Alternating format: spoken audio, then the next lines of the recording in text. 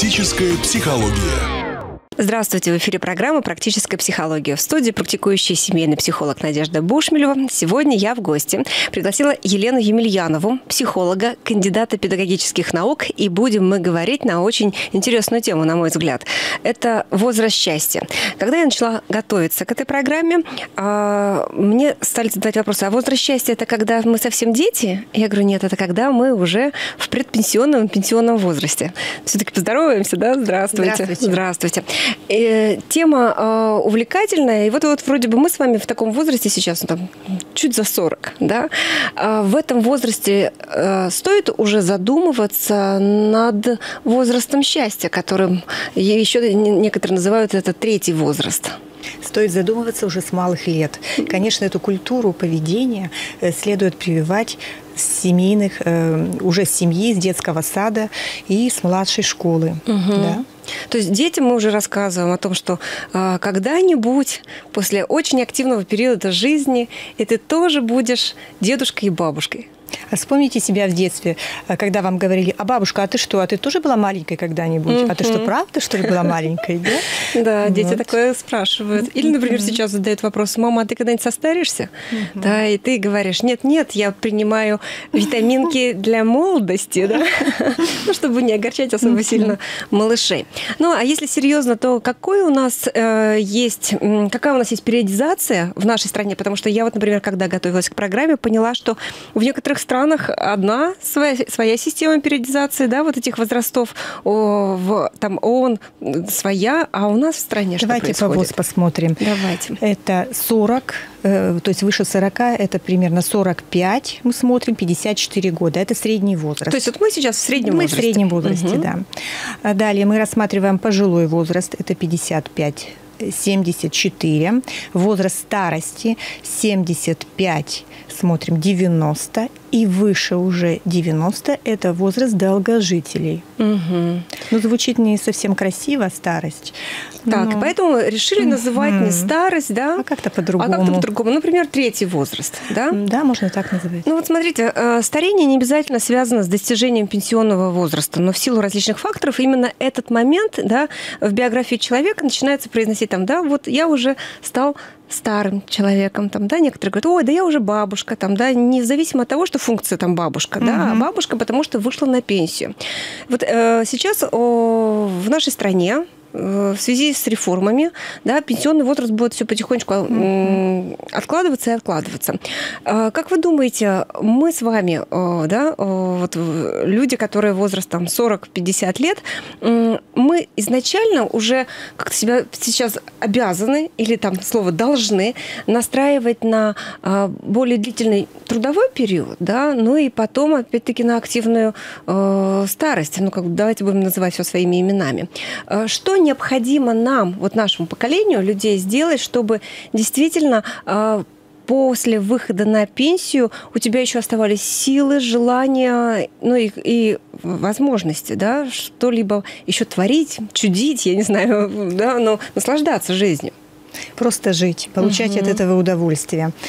Мы, конечно, воспитаны с вами в советское время. Мы воспитаны в комсомоле. Вы комсомолкой были? Не успела. Но а была. я была и горжусь этим. Я была комсомолкой. Это активная жизненная позиция. И те, э, ну, во всяком случае, вы пионеркой были. Да, конечно. И те основы активной позиции мы с вами выработали все-таки. Она и у нас уже это заложена. База. Это база. Мы были объединены обычной с вами идеей, какой-то угу. общей идеей вот, помогать старшим. Были какие-то а, организаторские моменты. А, мы помогали, ходили пятерки, там э, пятерочки. Да, а, я помню, Помните? например, мы помогали там, а, были, я была в, в клубе, правильно, тимуровцев, да? Да, тимуровцы. Да, команда Тимуровская пятерка, да. да. Мы помогали э, старшим людям по подъезду, например, угу. принести продукты, э, поухаживать за ними, просто побеседовать, нарисовать какой-то рисуночек подарить, угу. да. Но сейчас это волонтер волонтерство, и, может быть, оно, конечно, активно, но не в той мере, как это было в советское время. Угу. Я хочу сказать о том, что у нас с вами активно жизненная позиция уже сформирована, заложена. С детства. С детства. Поэтому мы приучены ставить цели. Угу. Да? Ведь как цель поставишь, такие будут и задачи. А правильно, грамотно сформулированные задачи ведут к правильной цели. Вот и все. Угу. Просто нужно чего-то все время желать, чего-то достигать. Вот наша с вами профессия, психология, да, мы психологи, угу. она все время обязывает самосовершенствоваться. Однозначно. Вот, Надежда, скажите, вам говорят, ты что, опять пошла учиться? Да. Да? да. Мне тоже. И Сколько и... можно? Да прекрати уже, да? А на самом деле, да, вот это, мне кажется, очень такая базовая потребность, да, все время получать новые знания, и она позволяет тебе Формируем. Да. формировать поле будущего. Угу. То есть что важно и для пожилого человека, вообще для любого, это поле будущего, это надежда, вот слово угу, это. Угу, да, надеяться, да. Надеяться на то, что нужно. у тебя еще есть сколько-то хороших, классных там лет, да. да. Я называю да, золотая да, десятка, там двадцатка, да. И ты угу, ее не угу. просто так в роли там, да, немощности какой-то, да, иногда э, специально выученный. Ну, правда, да? Ну, кому-то так удобно. Удобно, да, да, да. Проживаешь, да, проживаешь с активной жизненной позицией. Я правильно поняла да. вашу мысль, да? Да, да. Хорошо. Что еще? Вот мы сейчас еще даже не подошли вот, да, к возрасту угу. там э, этих людей, которые там выходят да, на пенсию. То есть мы с вами сейчас еще думаем, как бы нам подготовиться, подготовиться. к этому правильно, да? Угу. Мы с вами поговорили про базу, угу. про целеполагание, про активную жизненную позицию. То, что нужно э, тренировать э, свой интеллект, нужно обучаться, потому что жизнь наша стремительно идет сейчас. Угу. Наука, прогресс. Да. Нужно быстро очень адаптироваться и приспосабливаться быстро меняющимся условиям, к технике. Обратите внимание, как бабушки реагируют на Гаджеты, звонок, звонок по телефону, угу. на гаджеты, как нужно ввести пин-код на карте, угу, допустим, угу. чтобы снять денежку пенсионную, угу. как это им трудно бывает. Почему? Я думаю, это связано с тем, что э, то поколение вовремя не обучалось, да? И это тоже, да. А значит, и мы, как, например, дети, да, которые являются поколением вот сейчас пенсионеров, мы должны были им где-то э, сказать, давайте вместе рядом присядем, там, да, давай разберемся, давай заведем электронную, там, например, эту же электронную почту. То есть получается, что наши дети, как сейчас, например, да, обучают нас во многом каким-то новым, каким-то новым программам, еще чего-то, так и мы с вами своих родителей, э, да, престарелых тоже должны этому обучать. Но ведь тут еще, смотрите, Лена, очень важный момент. А, эти родители должны не сопротивляться. Совершенно верно. Как я вас понимаю? Угу. Вы сталкиваетесь в этом по работе, да, и, по, и в жизни, наверное, тоже, да? Хорошо. Вот э, какие еще такие базовые моменты, которые мы должны с вами, наверное, еще связаны со здоровьем? То есть сейчас в данный момент Конечно, э, геронтогенез, он неизбежен. Угу. Старость, она неизбежна. Э, мы не будем жить вечно. Это миф. Да, это надо признать. Поэтому, конечно, нужно заниматься здоровьем. Ну, каким здоровьем? Ведь не просто ходить по врачам, ой, что-то у меня заболело, кольнуло, наверное. Это просто делать периодически, а, регулярно, периодически а, медосмотры, во-первых. Во-вторых, обязательно обращать внимание на психологическое здоровье, на свои эмоции, ведь они важны. У нас э, постепенно еще формируется психологическая культура. Угу еще она до конца не сформирована, еще недостаточно людей ходили, посещали психотерапевтов и психологов. Угу. Так, ведь у нас еще она недостаточно развита, эта культура. Ну, мне кажется, в отличие от Европы, это действительно мы еще очень далеко там, Кон- да? Конечно, 20 конечно. лет. А э, зачем? Почему это важно? Потому что психологическая установка угу. может сыграть большую роль. Я обращала внимание на пожилых людей, которые теряли надежду. Вот э, не на что надеяться. Все. Они быстро очень угасали и уходили, потому что а, а, они потеряли э, веру в будущее. Угу. А это было связано с их родственниками, с их окружением. Я думаю, что здесь самое время вспомнить Мартина Селигмана формулу счастья, которую он угу. да, доказал, формулу счастья, что 50% от нас ничего не зависит, это биологические факторы, это наследственность около 40% зависит от окружения и от обстоятельств жизненных, в которых попал человек. Угу. И только 10% зависит от самого человека, насколько он может быть счастлив. Серьезно? Только 10%? Только 10%. Товарищи, от нас зависит только 10%, но все-таки зависит. Угу. Поэтому если накладывая на процесс геронтогенеза, то есть старения человека, здесь надо э, понимать, что постепенно некоторые функции, но они не становятся такими активными, как в молодом возрасте. Поэтому вот и в эти 10% они могут меняться у пожилого человека. Ну, следовательно, это вот в наших руках, да? Например, мы сейчас говорим с вами про внимание, про память, про мышление, да? Мы говорим, да, про высшую психическую угу, деятельность. Угу. Это восприятие, да, воображение, память, мышление. И у пожилого человека, у стареющего человека страдает в первую очередь эта кратковременная память, что и нарушает его адаптацию в современном э, ритме жизни у нас же все быстро очень все происходит. Меняется. Не так, как это происходило даже 20-30 лет назад. Поэтому э, ему не достает вот этих способностей, вот этой адаптации, чтобы быстро приспосабливаться. И он начинает страдать. А, возникают отрицательные эмоции, э, эмоции ярости, эмоции гнева. Раздражение, а, да? Конечно. И он не может с этим справиться. Он обидчив на весь мир. Как ему помочь? Угу. Как ему помочь, если такой человек живет в семье? И, наверное, это наша с вами работа психологов, семейных психологов, э, кто объясняет, разъясняет, как с этим жить, что с этим делать. Да, но прежде мы начинаем говорить о том, что какие изменения происходят, да, потому что иногда э, молодое поколение не осознает, не осознает, что рядом с ними оказываются, им же всегда кажется такие, вроде бы молодые, еще совсем недавно там родители, mm-hmm. да, были, и что это вдруг они тут начали капризничать перед нами, что это вдруг они там, да, э, начинают там заболевать там или придумывать себе какие-то там головные боли, еще что-то кажется нам надо вовремя остановиться и понять, что родители просто повзрослели. Повзрослели. Так же, как и повзрослели мы с вами, да? Да. Действительно так, оно и есть. И вот смотрите, мы сейчас возвращаясь опять-таки к тем каким-то вот таким знаковым, важным моментом, которые обязательно должны а, проследить в своей жизни люди 40-50 лет, да, это было бы ведь неплохо, чтобы была к этому времени, мы же потом тоже с вами входим уже, да, в возраст своих родителей, а, была какая-то материальная база, Следовательно, вот как вы сказали, с детства, а, да? Да, ну то есть вы говорите о ресурсности. Да. А, то есть причины или давайте как-то их назовем, что ли, как-то давайте это обозначим, или факторы, способствующие успеху, может ну, быть, да, там, или лучшей адаптации. Да, да? лучшей адаптации. То есть угу. я бы назвала, то есть вернулась бы, о чем мы говорили, это эмоциональная устойчивость, то есть мы обратили бы внимание на свои эмоции, на состояние угу. здоровья.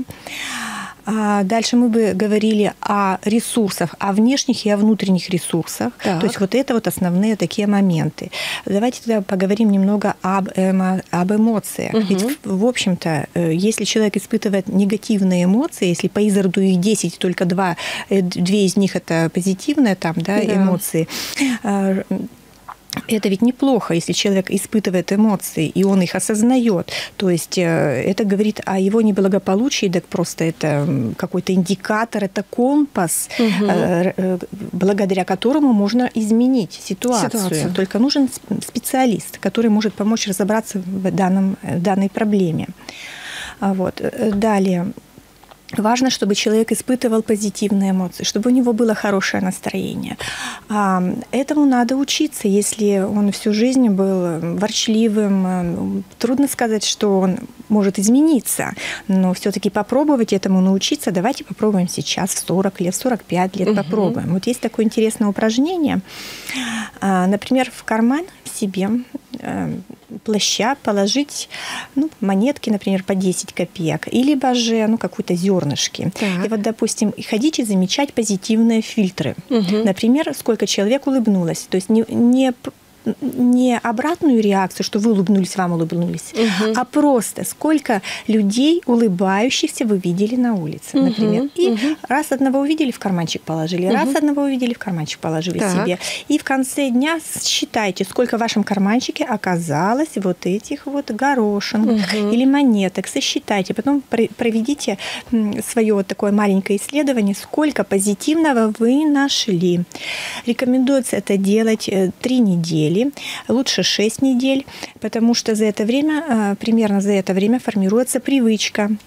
А вы научитесь э, замечать вот эти позитивные вещи. Отлично. И так формируется позитивный фильтр. Угу. И еще такая рекомендация. Попробуйте отключить телевизор. Я такой опыт сделала. Я два месяца не смотрела угу. телевизор. Вы знаете, столько литературы перечитала классической. Так было мне интересно, интересно жить угу. без телевизора. Но... Вот, а когда у меня друзья приходят и говорят, Надя, у тебя вообще нет телевизора, как, как ты живешь? Я так говорю, представьте, я так хорошо живу, ребята. Да, да, действительно.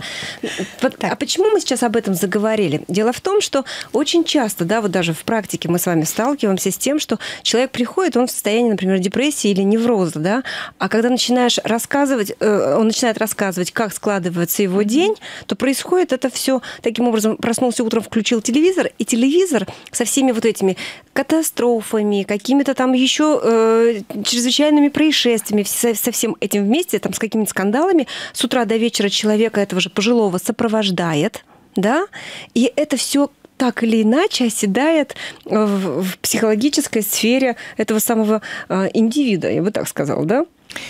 Конечно, и сказывается на его благополучии. Угу, Обязательно угу. на благополучии его окружения, его семьи, потому что возникает тревога. Мне пришлось работать с женщиной, которая собрала узолья, по-вятски угу, скажем, угу и э, от, собралась отсиживаться в доме в подполье, потому что она думала, что начнется сейчас боевые действия. Какая она насмотрелась телевизор. И это не единственный случай. Да, приходилось работать с тревогой и страхом у пожилых людей. И все это связано, опять-таки, да, с, когда Тому, человек не может фильтровать, да, да вот эти. А может. там ведь уже, смотрите, э, с возрастом внутренние критики, они же совсем по-другому работают, правда?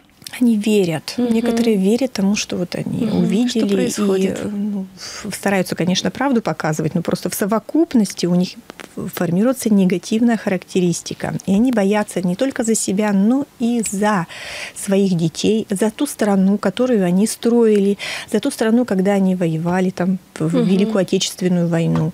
Вот. Поэтому у них страх и тревога. Угу. Далее мы говорим про факторы, которые, про факторы успеха. Да? А дальше материальная составляющая. То есть мы Можно сейчас отнести... в разрезе, да, с вами смотрим. Да. Вот мы с вами приближаемся, да, и в то же время мы э, иногда с вами рефлексируем, как будто бы мы в роли вот уже, да, таких. Да, мы, мы все здесь да, в совокупности, да, да, да. микс. Угу. Э, хорошо.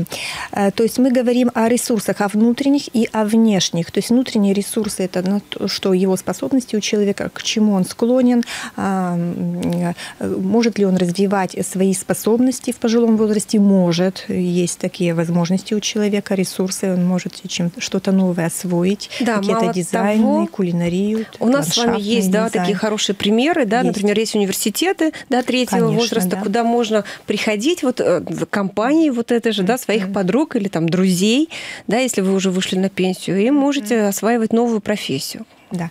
И э, внешние ресурсы, то есть э, то, что вот он человек скопил, если у него э, благосостояние, то есть если где ему жить, э, если родственники, с какими э, он мог бы поддерживать отношения, если у него друзья, остались ли у него друзья, как, какова его коммуникация, насколько он общителен а, насколько он так контактен э, в мире. Ну и, конечно же, э, как он вообще себя проявлял да, в течение всего, этого э, времени. Я вот, следовательно, опять-таки, э, прихожу в возраст 40-50 лет, и я сейчас понимаю, что если что мы можем еще сделать, да, чтобы активно войти вот в этот возраст счастья. Если у вас еще нет семьи, у вас есть шанс еще создать эту семью, правильно, да, я говорю? Если у вас нет детей, наверное, уже как бы мало шансов родить, хотя почему бы и нет, да, сейчас есть такие возможности тоже, да. А, если у вас еще мало друзей, то эта золотая десятка у вас есть для того, чтобы вы поработали над этой сферой деятельности, да, и э, обзавелись друзьями действительно хорошими и верными, которые потом вам помогут скоротать эту, э, эту старость. Да, и было бы желание. Угу. Если нет желания, то что тут скажешь? Нет, мы про желание-то сейчас вообще не говорим. Желание априори должно быть, очень хочется, да. Но опять-таки мы помним о том, что желания чаще всего посещают здорового человека. Поэтому опять вернулись к биологическому здоровью, да, которое вот изо дня в день мы с вами или же его губим, или же наоборот всячески делаем для того, все для того, чтобы оно у нас было с каждым днем все крепче и крепче. Поэтому лучше быть зависимым от здорового образа жизни, ага. чем от чего-то другого, химического, например. Отлично. Да? То есть это тоже своего рода зависимость такая, Конечно. да? Конечно, лучше быть здоровым, человеком, то есть зависимым от здоровой пищи, от э, физкультуры, а, допустим, от прогулок. Пусть лучше так. Угу. Лена, а давайте вот еще проговорим а, по поводу активной самореализации. Вот некоторые говорят, что ну, мы себя реализовали вот там в возрасте 35-50 лет, а теперь кому мы там нужны, нас уже списали, там, да, там, по, по ряду каких-либо причин. Ну, там, например, опять-таки э, темы, там, да, мы уже медленнее стали что-то делать, mm-hmm. молодежь быстрее это выполняет, качественнее, меньше нужно ей платить и так далее и тому подобное. Но тем не менее, ведь это очень важный фактор, да, э, как а, активная самореализация, и мне кажется, она не особо сильно может, кстати, от возраста зависеть. Если ты реализовался как политик, там, да, в своем расцвете сил, то почему ты не можешь как садовод потом реализоваться э, на пенсии? У человека, у которого активная жизненная позиция, он найдет себя везде. Угу. Найдет, даже если он был у власти, он займется хозяйством, угу. внуками займется, либо чем-то другим будет заниматься пенсионерами, станет серебряным волонтером. То есть он обязательно себе найдет работу. Хорошо. А, а, а вот, вот можно сразу же, вот, да, да. Вы, такой очень интересный собеседник. А, а как сделать так, как возможно ли это, да? А, если у человека всю жизнь не было вот такой жизненной активной позиции, и тут он понимает, что, ну, вот так оглядываясь назад, что-то как-то все не так, как хотелось бы, да? Может ли, вот были в вашей истории люди, которые ну, там, в одночасье, э, там, получая какой-то там диагноз или какую-то ситуацию в жизни, меняли свою жизнь, и э, вот этот золотой десяток э, проживали на полную катушку, в хорошем смысле слова, вот с этой уже активной mm-hmm. жизненной позиции? Вы имеете в виду про кризис? Да. Вы знаете, это хорошо показано в кинофильмах, угу. что человек круто меняет свою угу. жизнь. Угу. В реальной жизни это тяжелее сделать потому что это зависит от ресурсов, от финансов, от зарплаты, от пенсии, которой человек живет.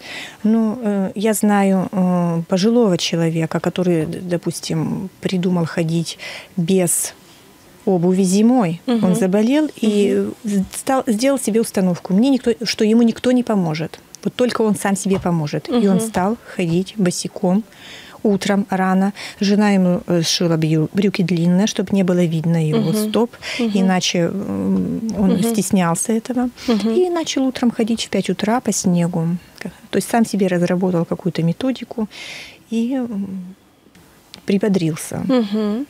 То есть, это было, то есть это не очень долго было, угу. но, но тем не менее, да, да. Это дало возможность ему почувствовать вот себя, да, что да, я вообще толчок, вам, да. перестроиться.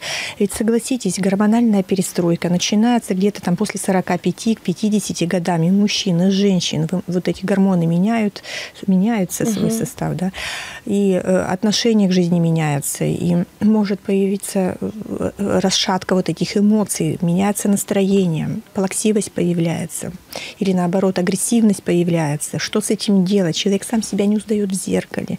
Допустим, женщина не может сходить к косметологу, потому что это не по карману. Угу просто не может на себя в зеркало смотреть. И это тоже является кризисом для нее. То есть это может являться кризисом. Как с этим бороться? Угу. Как?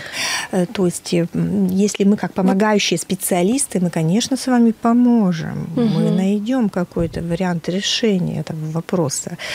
А, ну, тут работа с принятием себя, принятием да, со своих себя. изменений. Ведь да? Без старости мы не поймем, что такое жизнь. Угу. То есть она неизбежна, это не конец света, это просто течение жизни. И надо ее принять. Угу.